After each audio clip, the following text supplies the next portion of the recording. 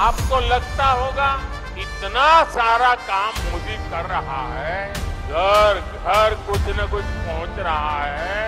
तो ये मोदी थकता क्यों नहीं है? ये मोदी रुकता क्यों नहीं है? अरे कोई और होता तो मौज करता। मोदी मौज करने के लिए पैदा नहीं हुआ है, मोदी मेहनत करने के लिए पैदा हुआ मोदी आपके लिए मेहनत पैदा हुआ। और इसलिए मेरे भाइयों बहनों, ये जो 10 साल में हुआ है ना, पहले वालों से बहुत ज़्यादा हुआ है।